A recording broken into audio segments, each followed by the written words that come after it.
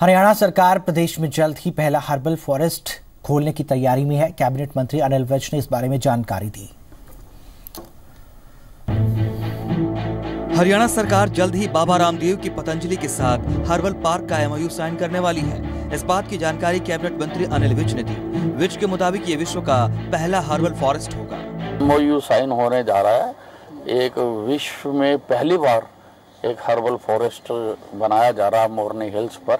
तो पतंजलि योग पीठ के साथ आज हरियाणा सरकार एमओयू साइन करेगी। वहीं विज ने लगे हाथ बीमा कंपनियों द्वारा किसानों की 44 फ़ीसदी फ़सल बीमा क्लेम रद्द करने की जाँच के भी आदेश दे दिए।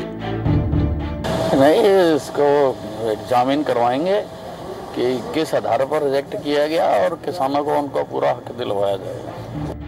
हरियाणा सरकार ने पहले भी किसानों को भरोसा दिया था कि उनका पैसा उन्हें वापस दिलाने के लिए ठोस कदम उठाए जाएँगे। अनिल विज के मुताबिक बीमा क्लेम केस की गंभीरता से जाँच होगी। अमन कपूर जी मीडिया, अंबाला।